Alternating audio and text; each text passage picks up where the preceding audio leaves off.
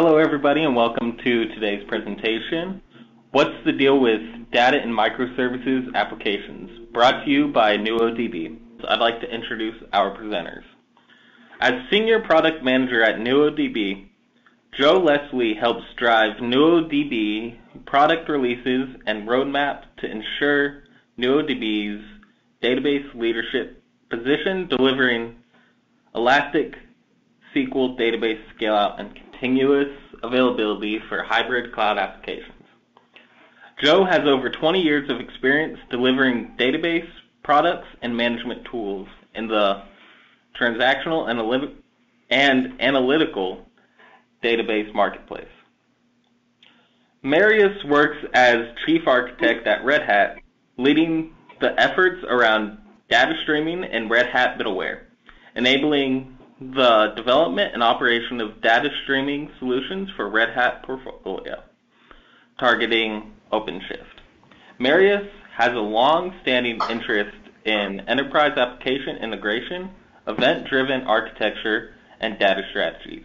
And before joining Red Hat, he was leading Spring Cloud Stream as part of the Spring team at Pivotal, as well as contributing to various projects in the Spring portfolio such as Spring Cloud Data Flow, Spring Integration, and Spring Kafka. He is co-authored to Spring Integration in Action. And now I'm going to turn things over to Joe and Marius to begin our presentation. Great, thank you, Billy. All right, let's go ahead and get started. Um, yeah, we have a lot in store, so we'll just go ahead and share a bit about, um, you know, the, what areas we would like to cover with you today. Um, so first, we're going to cover some of the challenges around deploying micro uh, services, um, specifically with uh, SQL-based applications. Uh, that's going to be part of our focus today. And breaking down what, um, what we're going to call the, the database monolith. And then we're going to go into some uh, best practice use cases and approaches that we'd like to share on, on how you can uh, better access and protect SQL databases in a microservices uh, deployment architecture. And then, and then finally, we'll land uh, this with um, some more about NuoDB and how NuoDB can specifically help you deploy these types of data strategies inside of OpenShift uh, that we're going to be talking about today. Uh, so as we get started, uh, we're going to take a view from the CIO office. And um, well, I'm not a CIO, but um, fortunately, I get to speak with many of them, and uh, many of us here NuoDB as well and Red Hat also. Um, so we have a pretty good view of what CO, CIOs require these days and and what in the in the challenges they're faced with. Uh, you know, many companies today are, are seeking sort of that next frontier of IT efficiencies, and, and typically it's around some of the same areas of saving OpEx and increasing bottom line. But uh, today, to further it, uh, the IT team must be agile and they must respond more quickly to requests for change. Um, you know, moving our applications to the cloud um, has has really been one where uh, there's this promise that the apps are you know always on or always available and uh, you know with rolling upgrade and and all of these capabilities. But that's a really hard thing to deliver on. And, and how do we actually um, you know deliver on all those promises? So um, you know, if we look at, um, you know, deploying and winning in today's cloud microservices and container deployment world, yesterday's tech no longer delivers. Uh, uh, you know, monolithic software stacks with tightly integrated components means that everything must deploy together. You know, like like a bundle, and it it it sort of you know it slows the ability to push out changes quickly and and really data, center architectures haven't changed much over the years with um, you know the, the, the, assumption there is that you know migrations always mean downtime and and you know scale up instead of uh, uh, scale out to increase performance. And high availability has really always been you know the equation of high availability equals you know high complexity and high costs. And really each one of these ends up being a like a roadblock um, you know, when trying to deploy always on applications. So, so let's take a look at the effort to migrate an existing app. uh, to a microservice application. And, and you know, again, we're focusing here on SQL-based applications. And, and really, as the first bullet sort of points out, you know, most of the applications, these enterprise applications, are, if we generalize, many of them use SQL, right? They, they attach to a SQL database. So, so in moving to the, the cloud and trying to uh, gain the, um, you know, kind of the scale out capability, you know, switching to a NoSQL database could be one of those options, right? NoSQL offers, you know, easy scale out. But when we look at the risks associated with, you know, complete rewrite of the data management logic and retraining app developers and DBAs to learn new tools and and um, uh, you know migrating the data from from a relational uh, format to a key value store um, is a huge investment. So, so really, you know, what if you could keep your SQL applications and still gain the same advantages of running in containers or, you know, microservice environment? So how to achieve this is really a large part of what we want to share with you today. Uh, so so on this next slide, it goes into what we're going to cover a little more of what I was calling a monolith, the, the database architecture, right? I mean, traditional SQL databases, they were architected probably, uh, you know, near about three decades ago. And, um, you know, the architecture was optimized for, uh, you know, different infrastructure, right? Symmetric multiprocessing machines, scale up, not scale out. Memory was very expensive. Um, and, you know, this is the, um, you know, kind of the world um, those those databases started in. Um, you know, they require a lot of add-ons for replication and DR and and and you know backup and recovery. Um, and, and of course, they they typically have required expensive, dedicated, highly configured um, hardware to to increase the performance.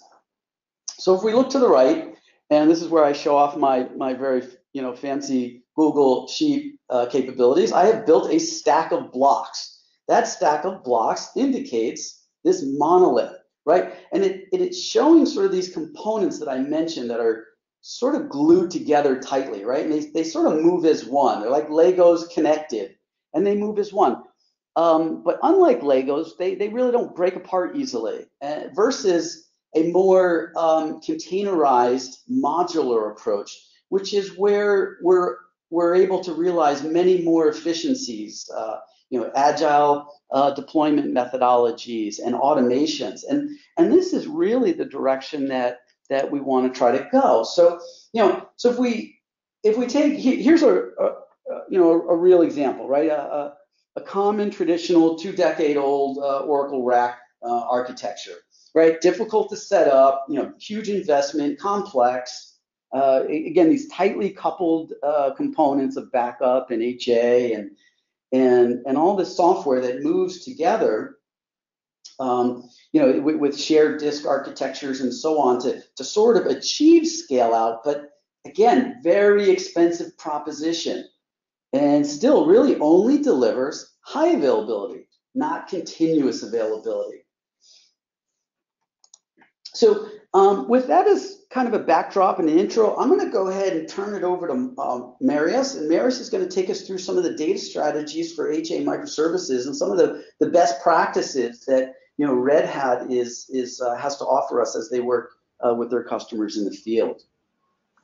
Thanks a lot, Joe. Uh, this is a great introduction to the challenges that microservices developers and operators face, especially when working with relational databases. And uh, as Joe has just mentioned, like at, at Red Hat, and especially uh, with our OpenShift customers, with our OpenShift users, uh, we've seen a lot of use cases. We've kind of gathered a, um, a lot of knowledge about uh, the best practices that we have for running microservices, for running data services uh, on a cloud platform. So I think it would be very useful right now to take a look and try to understand how things have come to be this way. What are we why are we using microservices, what are the use cases, and basically what strategies can we employ to manage data in a microservice architecture. And then once we have that done, we can take a look at what the OpenShift platform has to offer for running both microservices and data services and how to address concerns such as high availability and disaster recovery, right?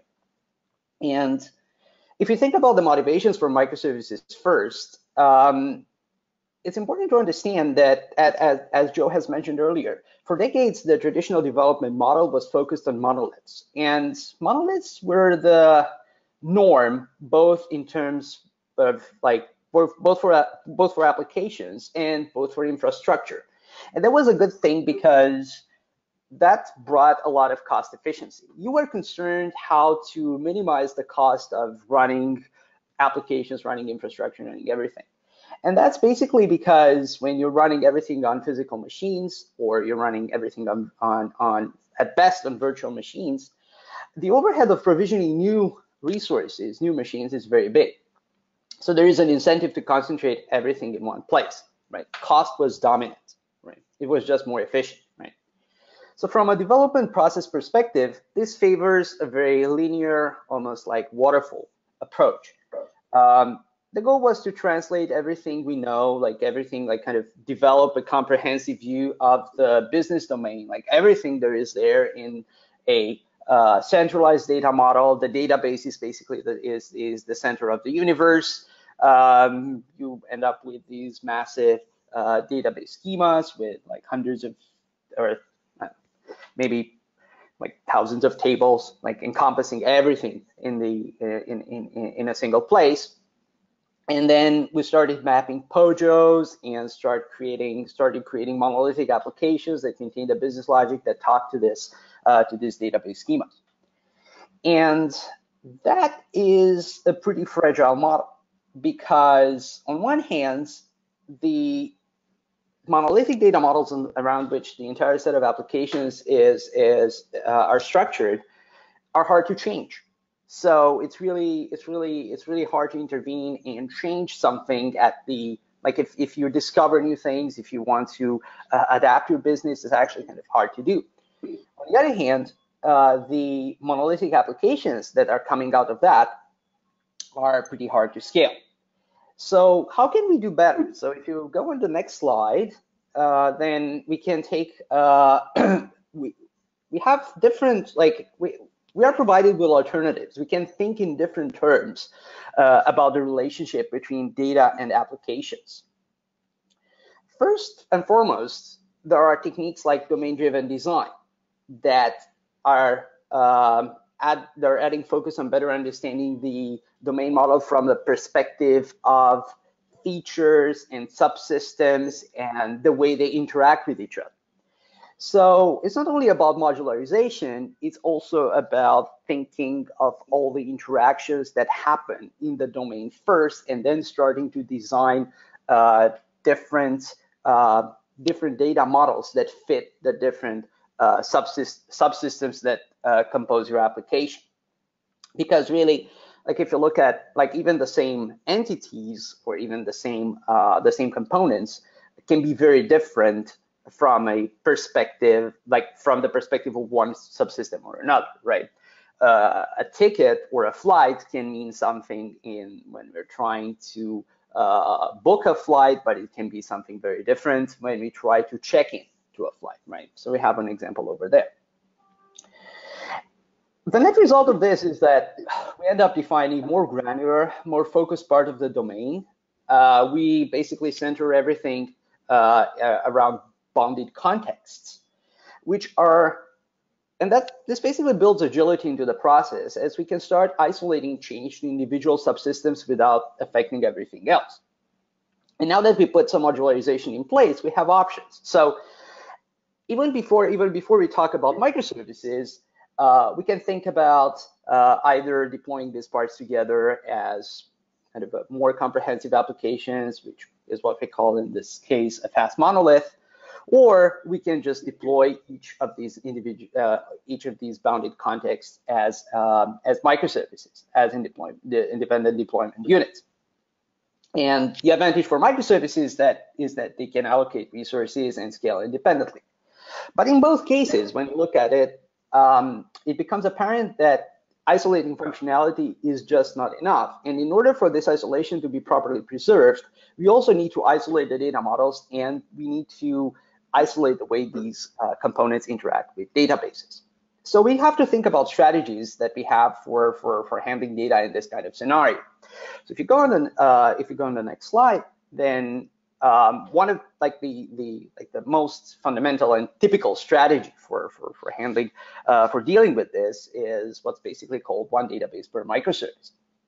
We can enforce isolation here, but just allocating kind of one by using one database per per microservice or per fast monolith. And it makes sense because as each bounded context has its own data model, they also have an isolated data store. And it also gives us a lot of flexibility in choosing our storage strategies. So you can have a relational database, you can have a NoSQL database, so you have, you have basically choices. Now, one of the things to remember is that databases are generally speaking uh, uh, middleware. They are, they are not designed, like at least traditional databases are not designed to be very lightweight components, right?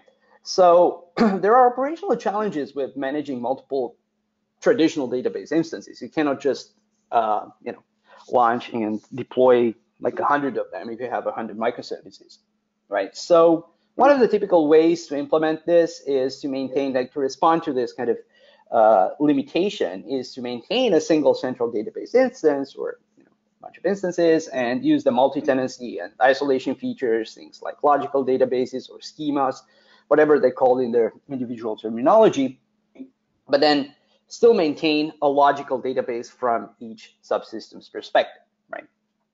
And sometimes it, it especially when you're having uh, monolith to microservice migration scenarios, like for example, what we can see in the in, in the following slide, um, you have situations where, like especially when you're extracting functionality and you're extracting microservices out of the monolith, you cannot really uh, do this database refactoring.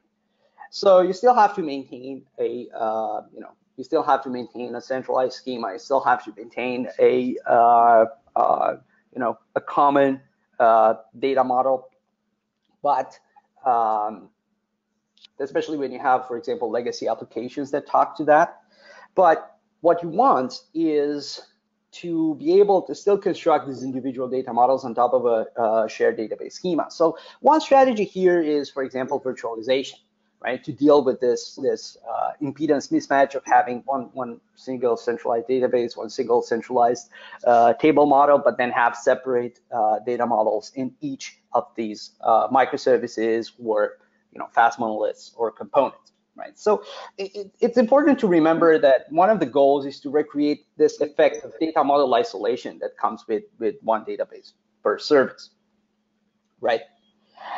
And how do we deal with, with one other consequence, right? Increased latency. So in the next slides, we talk about a little bit about, we need to talk a little bit about caching, right? One of the most common fallacies in distributed computing is that we can make remote calls behave exactly like local calls. And that's not true, right?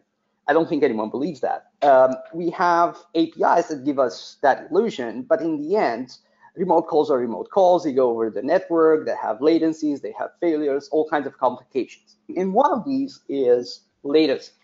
So if you have multiple applications talking to each other, then calling other applications, which in turn go forth and call other applications. So you basically have this chain of invocations.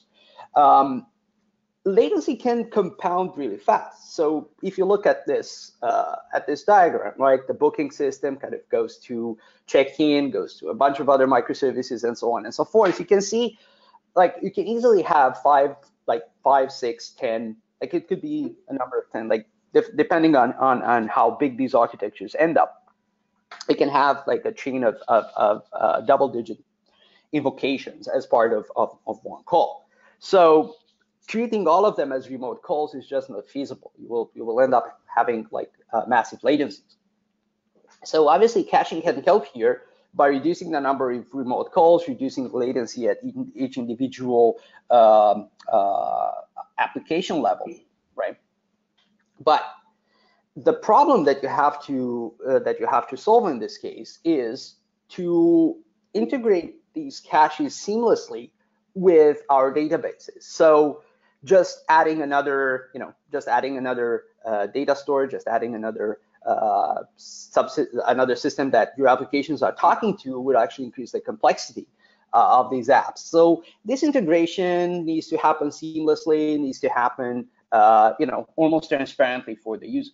So that's another important thing that has to uh, that has to happen in these uh, in these microservice architectures, and that's one concern. Now, is kind of give you a bit of an idea of what are the challenges, what are the strategies, and how we structure microservices and how do they like what do we expect from the databases they're talking to. It's it's also good to to take a look at what how you run them and what OpenShift as a platform has to offer for writing these applications. So if you go on the next slide, you actually uh, can see a picture, like a, a very succinct diagram of OpenShift as a platform, right? So as I said earlier, the high cost of provisioning resources as physical and virtual machines favors monolith due to cost reduction reasons. And one of the biggest revolutions in infrastructure management is the rise of the cloud platform. It allows you to manage resources dynamically and elastically and helps you add modularization and agility into the into the, your process. So what we're going to talk about today, like one of the one of the one of the points today, is OpenShift, which is um, basically the leading Kubernetes platform that helps you build, run, and scale both applications and data services in the cloud. Right. So that's a very, very, very important thing because all that we talked so far like microservices, data services, we want to run them on, on, on a single platform. And Joe will provide more, like a little bit more about the motivations for that. But what I'm, what I'm going to talk about next is um, a little bit, just give you a bit of a sense of how OpenShift works and how OpenShift helps into this process. So OpenShift runs containerized workloads uh, that allows you to package your applications in an immutable structure and isolate it from the underlying underlying runtime. Containers are deployed as pods on nodes, and the, the whole process is generally transparent and managed by OpenShift. From a user's perspective, the entire set of resources in a data center or a portion of the data center, whatever you want to allocate for an OpenShift cluster, whether it's on premise or in the cloud, is pulled together and available to be allocated dynamically and elastically. Right. So that gives you uh, that that gives you a bit that that gives you a very uh, a lot of ease in allocating resources, and that's basically what you expect when you run a fleet, a large fleet of like tens uh, or even larger numbers of microservices you have to think about high availability in this context, right? So the fact that you can run multiple applications, for example, uh, the, fa the fact that you can run multiple instances of an application, the fact that you can have like load balancing automatically between them, um, is basically something that the platform offers um, like out of the box.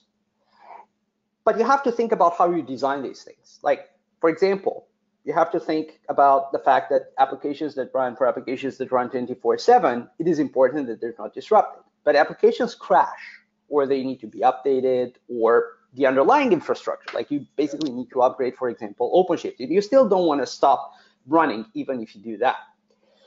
So the common practice here is to run workloads at scale using at least two pods, for instance, running on separate nodes. Um, this happens like running nodes, uh, running pods on separate nodes is, is done automatically by OpenShift. And one important consequence of that is that the workloads themselves need to be uh, uh, need to behave in a way that allows them to take advantage of this feature, right? So cloud native readiness is is while, while OpenShift can definitely run you know applications that have not been uh, uh, designed to be cloud native, and that's actually kind of a big feature of it. A big, big feature of it. Uh, that kind of readiness can help you um, uh, improve your experience, right? And there are other features like which are listed on the next slide that helps you run scaled, uh, highly available applications.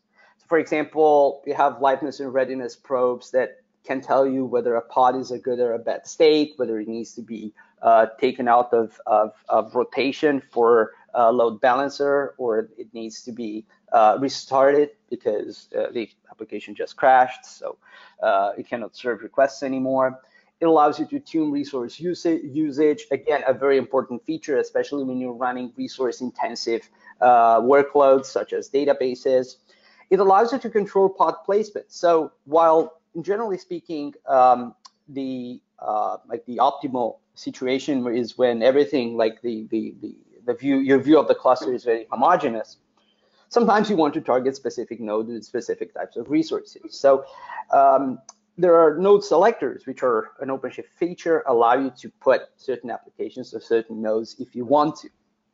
And very importantly, um, stateful sets. So that's basically like in the in the next slide, have a brief uh, view of what that means. Of course, a lot, a significant number of the workloads that run on OpenShift will be stateless. They don't have resources. They restart as a blank slate. So you can't imagine an application that stores everything in the uh, state in a database, or it stores some data in, an, in, in a data grid, or sends and receives messages. So those types of applications can basically restart, and they don't know to they, don't need to remember anything about what happened uh, before like well, before they were uh, restarted, right? Uh, this is perfectly fine. So that's that's a lot of a lot of the workloads are like that. But some some workloads, such as databases or message brokers, and generally speaking, middleware, require some form of state retention. They need to retain some kind of sense of identity. So if I restart a database, for example, that's not very good if it has lost all the data that it had before. We just cannot have ephemeral database instances, right? So this is where where where uh, this is where like you need to have the ability for certain deployments to retain a sense of identity, like an ID in a cluster deployment or a persistent file system, right, where where, where they store all the information. And this is what stateful sets, uh, um, which, as I said, are essentially a Kubernetes feature, and they're available in OpenShift, which is in essentially an um, uh, an enterprise um, uh, a, a, a, an enterprise platform based on Kubernetes.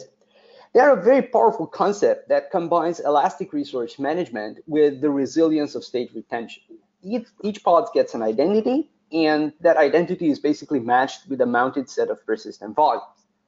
So inside a stateful set, for example, when a pod is lost and needs to be restarted, a same pod with the same virtual identity is reinstated and the associated storage is recreated, right? This is very important when you have like exactly for, for, for as I said, for, for databases and um, uh, clustered. Um, so generally speaking, for, for, for clustered data stores, because A, obviously you don't want to, to lose your persistent storage, which is important. And the other thing is we want you want the the the um, the the even even if even if the uh, persistent storage is reallocated to a new pod, you wanted you wanted to retain its whole uh, identity inside the cluster uh, so that you know all the replication processes and and and and, and state replication um, features of the cluster can continue uh, uninterrupted, right? So this is one other important building blocks in in in the notion of building data services and and on uh, on top of of OpenShift, right? And if we stop for a moment and kind of think about like this is all about how how things happen inside one individual cluster, right? But we also need to think about how to enforce high availability at a larger scale and how to to handle disaster recovery. So if you go on to the next slide, then um, there is yeah, you have like a few of the options for um, handling like for for for managing uh, high availability and disaster recovery. Now, the idea is that OpenShift by itself ensures resilience and reliability across a specific site. but you also want to, want to be shielded uh, from large-scale systemic failures, such as the entire site goes down or entire data center goes down. So by its nature, OpenShift requires low latency networking between nodes. So basically means that each OpenShift clusters run in an individual site. You cannot run, for example, an OpenShift cluster across multiple sites, across multiple data centers. In this case, you have different strategies at your disposal. So first, you can essentially just run and maintain a single site, forego disaster recovery, and whenever the site goes down, wait until it comes back again. Right? It's a very simple strategy, but obviously probably not what you want if you want to run 24/7. Um, you can have you can fail over to a secondary site that means that remains inactive until required. So that's also a possible a possible strategy.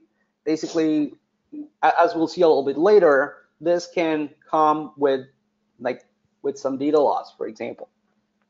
And if you want to maintain a fully cloud native approach, you can run a multi-site application. So basically, this means that you have multiple clusters running across multiple sites. Uh, the clusters uh, replicate data in real time. And this also has the advantage that not only your like all your clusters are, are active and ready to run, and they have like ideally they have uh, uh the most up-to-date data with some like eventual uh, consistency limitations.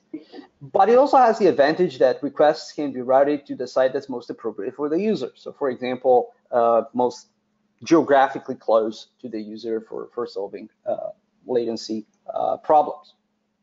Right? And the key here is that deploying multiple applications across different data centers is like is not necessarily about the code. The key problem is to solve is how you replicate your data. So you have a few strategies at hand. On next slide, for example, we talk about uh, infrastructure-based asynchronous replication. So in this case, the the task of of, of um, uh, uh, replicating the the storage data is undertaken by the the, the uh, by the application by the uh, by the infrastructure itself. This works especially well if the applications are read-only and only need to be step, uh, only need to stay up to date. So one process updates one storage, and then everything else is replicated across the whole cluster. The other strategy that you have is application-based asynchronous replication, which is on the next slide.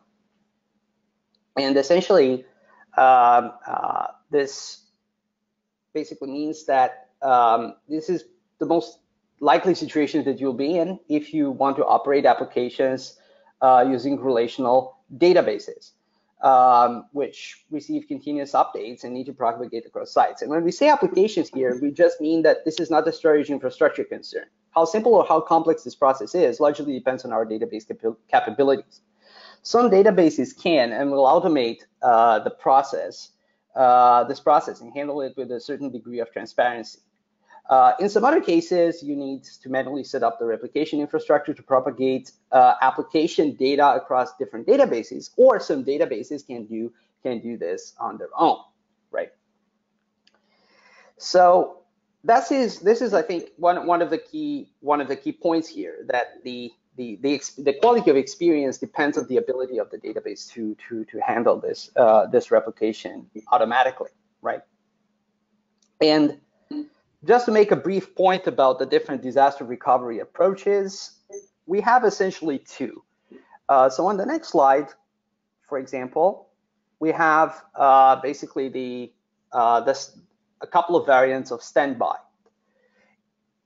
In both, like in both scenarios, you have an active data center and you have uh, um, uh, you have a uh, an idle and offline uh, data center that's kind of ready to take over if um, if the application uh, like the, if the primary data center goes down. Now this comes with like this this is kind of this increases the the, the likeliness of data loss because the backups are periodic. So all the data between two backup, backup instances, uh, two backup events is basically lost. On the next slide, you have a slight improvement, which is maintaining a hot standby, maintaining a, a standby data center that is only used for, uh, um, you know, as a backup or at best for, for read-only operations. And this minimizes the lot, the chance of data loss. There is still a there is still a lag between like between updates, but that is minimized by the continuous replication that takes place uh, between uh, the active and the standby data set. And of course, the the, the uh, on the last slide is basically the um, um, the active active approach, which essentially means that uh, all the different replicas are active, all the different replicas be, uh, receive data from their from their applications, uh, and the application and the uh, integration or replication happens in real time, right? So obviously, this is the kind of the the most uh, you know the, the one that offers you kind of the most resilience in a way, but it's also the most complex of the three right? And with that, I'm going to hand it back to Joe to talk about how NuoDB handles uh, uh, these strategies. Great, thank you, Marius. Uh, that was that was terrific. Yeah, I would. Um, you, have shared a, a, bunch of useful information uh, about OpenShift and, and, deploying in microservice environments. Um, yeah, I would just like to take probably the next uh, 10 minutes. I'm going to talk a little bit about um, how NuoDB helps uh, deploy these strategies that Marius was referring to, and then we'll also open up for some uh, some Q&A. Um, so uh, I'm going to start with uh, first um, describing some of the pitfalls that we might see, and we've kind of been touching upon it a little bit, but you know, it, when we want to deploy uh, applications uh, in microservices, and in this example, OpenShift, um, you know, we of course want to do that to, to go ahead and gain those uh, agility and automation benefits by, by doing so. Um, but when that application is a SQL-based app, um, and you know, you kind of get this, right? If, if your database doesn't really run well in, in containers based on a lot of what we've been talking about today, that the natural first thing to do is, is sort of run it outside, right? You know, you, you poke a hole through the, uh, uh, the, the OpenShift containerized network to an external network, and you're able to run the application in that way, but you really haven't achieved all of the uh, agility and automations that you were hoping for. Um, you know, you, you, you create, uh, you know, network overlays that are complex and it introduces security uh, concerns. And it, it's sort of like crossing a bridge halfway, right? Your, your application is running in the environment you want, but now you're stuck managing two separate environments because your database is still running the same old way. Um, now we can make a slight improvement, right? We, we could run a, uh, a data cache uh, with inside our containerized environment. And you know, many of you may be familiar with these third-party client memory caching tools um, to improve performance, but they're not a pan panacea as, as well either, right? Because it still requires application development and management to ensure that the uh, you, you maintain consistency between your caching layer and your database. And then there's this sort of third one that uh, I've kind of pictured in this, um, you know, swollen container looking uh, environment here where, well, what if we took the entire monolithic database and we ran it in a container? Well, that doesn't fit the model either, of course, right? Containers were not designed to run, uh, you know, complex multitasking uh, database systems. Um, so again, you don't get the benefits of the microservice uh, deployment environment, and you know the ability to leverage um, these uh, these automations that that we've been discussing.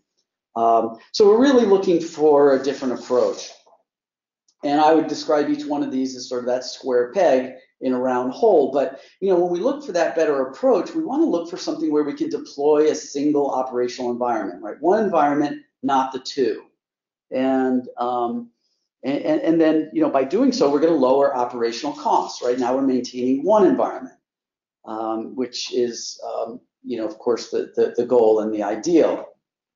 And by maintaining the one environment, and this speaks to some of what uh, Marius was describing earlier, but the benefits of running a localized database now in an OpenShift container network, uh, you're not going to incur those latencies of that um, of those remote database calls, right? Your database is effectively running inside of OpenShift as an embedded database.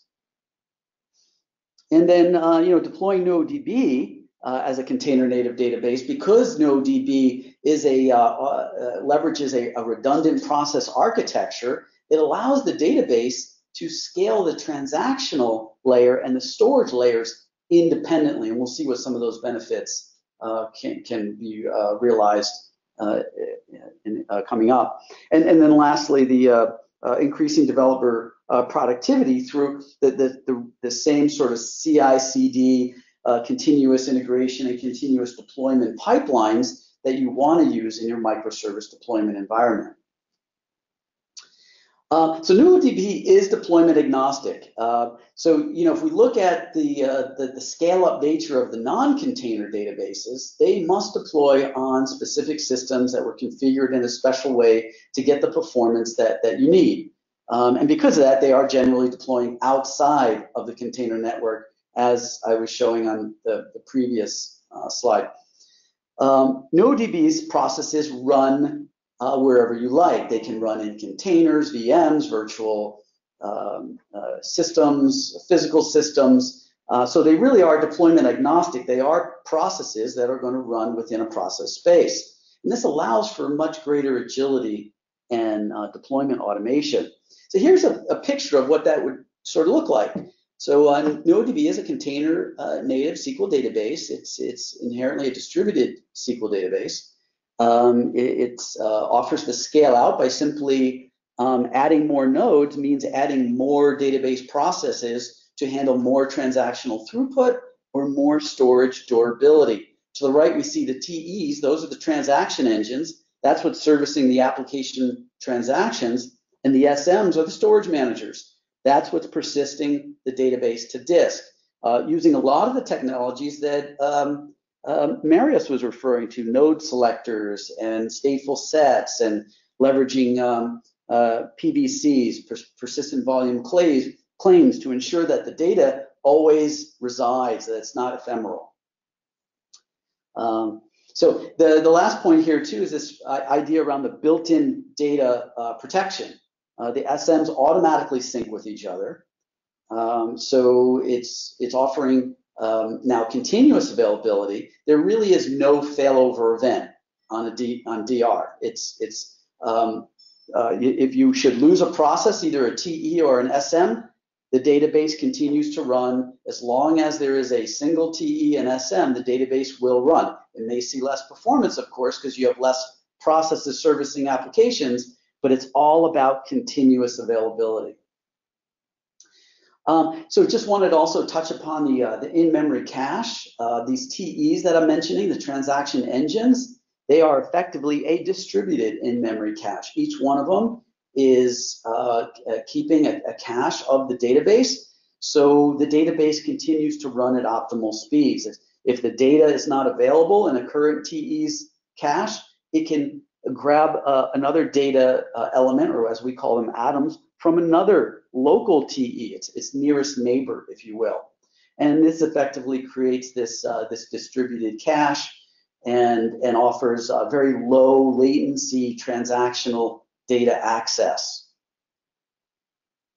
Um, and speaking more to the kind of the HR and how the, the system protects itself, uh, Marius was talking a lot uh, at the end towards uh, about active-active and how that can be difficult to uh, you know to deploy. But with NuoDB, it's native to the product. It is an active-active, um, you know, always-on architecture. So here, where we see like a, a, zone one and zone two, these could be availability zones. As we spread the NuoDB um, uh, processes, these engine processes, onto the availability zones, uh, we have two in each zone for the transaction engines each one of them are running in a pod, uh, those pods that uh, Marius was describing earlier, as well as the storage managers are also running in their own containers or pods. So if we should uh, lose uh, one or two or even a complete zone, our database remains available. And perhaps that could be what was so important to the, you know, the, the top requirement the CIO had earlier when we were um, referencing it is this uh, idea around the, the application must always be on, must always be available. And NuoDB can achieve that in an OpenShift uh, orchestrated process environment. This is just a quick example of what I mentioned earlier about uh, if, if the database can scale independently, the transactional and storage component, well, now your database can serve many different applications uniquely and specifically to the requirements, right? For web mobile apps, we can scale more TEs than SMs. For OLTP, we may want to uh, run about the same scale, right? Logging apps, we need more storage, right? We're going to scale that out so we can log faster. And for a, an HTAP, a hybrid transactional uh, analytical, we may actually configure those TEs differently, some with more memory, some with less. So you now have all that great control uh, available to you. I talked a little earlier about the uh, um, you know, the deployment model of uh, uh, continuous integration and deployment, right? You want those same benefits for your database. Uh, we, we talked about crossing the bridge halfway. Well, we really don't want to do that. We want to cross the full bridge and take full advantage of the, uh, the OpenShift uh, microservices deployment environment by also adding the database to your pipelines and, and allowing for rolling upgrade, and uh, implementation of, of, operators for uh, many of your operational type tasks can be easily now automated. Okay, and that, that uh, brings us to the, uh, the idea around automated operators. Uh, again, another one of the Kubernetes features. Uh, and um, this is a feature that um, we're currently implementing now Kubernetes operators to simplify all of these areas of rolling upgrades, scale in and out, backup and restore. And I thought I would just finish with a, a quick little view of, of just what does a, a NuoDB database look like inside of OpenShift. I took a little picture here. So you could see up above is the NuoDB uh, monitoring interface that's showing that we have two running transaction engines um, I'll point them out here. We have two uh, storage managers. We can see the memory and CPU footprint for all of the, the, the, running pods on the system. And we happen to see here in the middle the aggregate transaction throughput where um, I was scaling up the number of transaction engines, which doubled the throughput of the application um, from about 50 to uh, right around 100 uh, transactions per second, simply by clicking up on the number of uh, OpenShift um, transactional pods. And uh, with that, I'm going to go ahead and land on the thank you slide, and you have some links here on how you can learn more about Red Hat and NuoDB and what we're doing in the microservices um, uh, deployment architectures for your applications. And uh, yeah, I wanted to turn it over to Billy. And um, Billy, do we have those um, those polling questions that we would be able to uh, share with our community?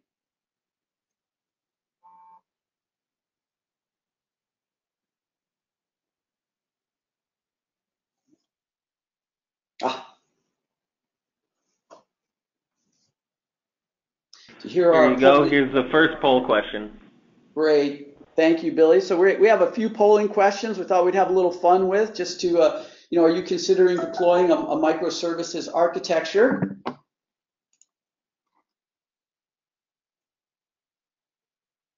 Please submit your answers and we'll get to share all our results for, for all of you. Close the poll in about 10 seconds.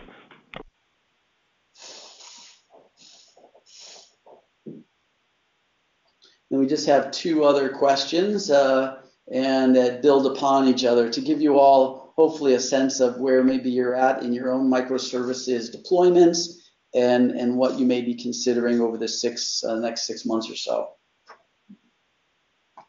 Um, Billy, do they get to see all the questions? Oh, oh, Okay. It's just terrific. one at a time. Here's the results for the first one. Awesome. Thank you. Well, overwhelming. Uh, looks like many of us now are are uh, considering and on our way to deploying microservice uh, architectures. Billy, why don't we try for the next one? All right. Here we go.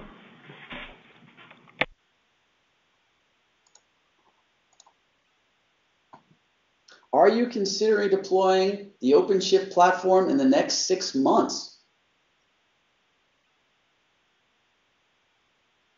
I don't know if many of you were out at the Red Hat Summit, but I know I met many of you there and others, and uh, many were there to, to learn more about how to deploy OpenShift and, and uh, enhance their, their current deployments. I'm going to go ahead and close the poll and show you all the results. All right. Would be good also there to see, um, you know, the next 12 months as well. Um, let's go. Let's go for the uh, the the next. All right. Got, Last looks like poll. we've got about 30. Great. Thank you, Billy. So it looks like we got about 30% of you that are already looking to deploy uh, OpenShift in the next six months. Um, how about of, of those, and this is where we touched upon uh, a lot of these enterprise applications are SQL based. How many are looking to deploy SQL based applications in OpenShift in the next six months or so? And hopefully, as you're considering deploying that, you've learned some new techniques today on how you can actually run an embedded SQL database right inside of, of OpenShift to, uh, to gain all the agility and automation and performance benefits uh, that NuoDB can provide.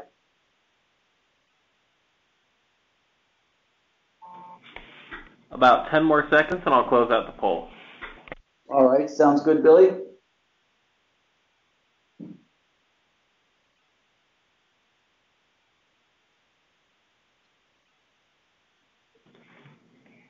All right. Here are the results. All right, so just about 25%, one out of four are going down this path right now in the next six months of deploying uh, SQL-based uh, in OpenShift. So that's that's fantastic. So And I do imagine over the next 12 months, you know, of course, those numbers need to increase. Uh, but that's very useful. Thank you, Billy. Of course. I'll hide the results now. And would you like to do the Q&A portion now? Yeah, that would be uh, that would be terrific. Awesome. So we had a few questions come in from you guys. The first one is, how can I start using NuoDB on OpenShift? Well, one of the easiest ways to start um, is we have uh, a container um, that's available along with a YAML that will allow you to uh, deploy uh, the environment. In fact, you're seeing right now uh, an OpenShift environment, um, and that's what I've done. Is I basically did add project, and it started a database right inside OpenShift. We are currently updating our container right now to to add uh, stateful sets, the uh, persistent volume claims, as well as the uh, YAML file deployment. Um, so within the next week or so, uh, look for our container up uh, up on the uh, in, in the OpenShift catalog. Uh, and of course, you're always welcome to contact us um, through our website or through the contact information uh, we provided in today's presentation. But it's very easy to get up and going and running with NuoDB uh, inside of OpenShift. Great. The next question is, do you have an op optimal way to implement event sourcing? Uh, an optimal way to uh, implement, sorry, I missed that. Implement event sourcing. Event sourcing. Uh, yeah, so I think the, the question is around uh, when the database uh, has events and alerts, how we can then propagate those. Um, so we do have our own set of, of events we're sourcing, and those will go into the environment that you see on the upper part of your screen, um, the monitoring place. Um, we're currently building this out where we're showing the um, uh, the more OS related metrics and transactional pieces, but we're also going to uh, source events and show alerts of you know what what may be uh, happening in the environment, and then you know how to root cause uh, th those types of uh, uh, database um, issues. And and and go go ahead. I would like to add, like, a complement to what uh, Joe has just said. So for um, for event sourcing on, uh, especially for event sourcing applications on OpenShift, um, the we have uh, support through. So there is a project that I strongly recommend you to take a look at, which is called Debezium. Uh, that is uh, used for uh, implementing CDC on top of uh, a number of relational databases. I don't think, uh, um, I'm not sure about any plans right now for integrating with, uh, with NuoDB, but essentially what it does is it, it monitors your, like all your um, transactions and all your changes to the transactional log and it sends them to Kafka as, as standardized events. So that's one one of the things to to look at in the um, uh, in the OpenShift uh, Red Hat universe. So that's kind of a good complement. Again, I think I don't think we I don't think it applies necessarily to NuoDB right now, but I think Joe, what do you think? I think that could be an interesting addition for the future. Absolutely. Um, Th thank you, Marius. That's that's really good information.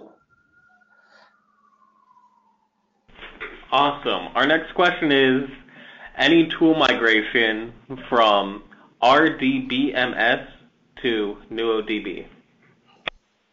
So RDBMS is a traditional relational database. Uh, NuoDB um, works with uh, traditional databases from a data migration standpoint. It will easily migrate uh, the data from uh, that database into NuoDB um, using our native migration tools. So we, we try to make that very simple. Uh, is a, uh, you know, it's an ACID uh, compliant uh, and full ANSI standard SQL database. So uh, all those SQLs that run against um, uh, RDB is, is going to run against NuoDB. And, and that's really what we talked about in the earlier part is that you know, the, the NoSQL is a tough transition, but when you transition from an already existing SQL database to NuoDB, it's quite simple. Great. Our next question is, can I copy SQL Server databases into NuoDB? Yep, that's uh, very similar to the previous question. It, you know, again, we work with all of the, you know, the, the main database products. Um, we will um, uh, read uh, and extract data from a SQL Server. One of the important pieces, what NuoDB does, is it, it's looking at the source data types and then how to then translate them into the receiving NuoDB data type. So the data movement and streaming is probably the easy part. What, what NuoDB does for you is it makes sure that your data is coming over into NuoDB as the proper you know, string or char or date or numeric type integer or decimal so that your applications continue to work as expected. We also have a migration uh, webinar on our website. If you uh, care to look more uh, uh and learn more about that, just go up to nuodb.com and, and look for the, the data migration webinar. We, we actually migrated a MySQL database uh, during the webinar in three easy steps. So it's kind of fun. Uh, please go out and enjoy that as well. Thank you all for the questions. And I'd also like to thank Joe and Marius for a great presentation. And I'd also like to thank today's sponsor, NuoDB, for providing the DZone audience with a great webinar presentation. And I'd also like to thank everyone who joined today. We hope you learned something new today that'll help you in your developer career. Have a great day, and we'll see you next time. Thank you very much. Have a great day. Thank you.